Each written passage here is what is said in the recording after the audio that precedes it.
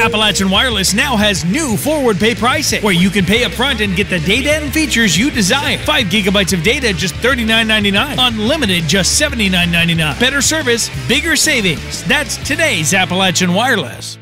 The shooting death of Pikeville police officer Scotty Hamilton prompted a massive manhunt in and around the city Wednesday morning and throughout the day Wednesday. Heavily armed police officers and a helicopter combed portions of the city in search of the shooting suspect, whose identity had not yet been officially released as of this report. Just be aware that obviously this situation has occurred and a perpetrator or suspect has not been detained, so there is someone out there who has committed this crime. Uh, so uh, that person should be considered armed and dangerous.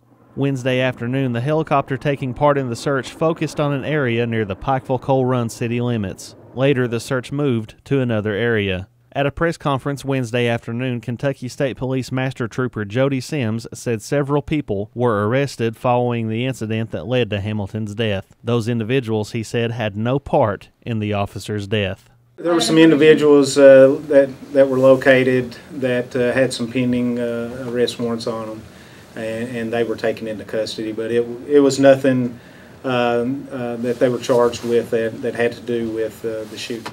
Anyone with information on Hamilton's death or the suspected shooter's whereabouts is asked to contact Kentucky State Police immediately. In Pikeville, Chris Anderson, EKB News.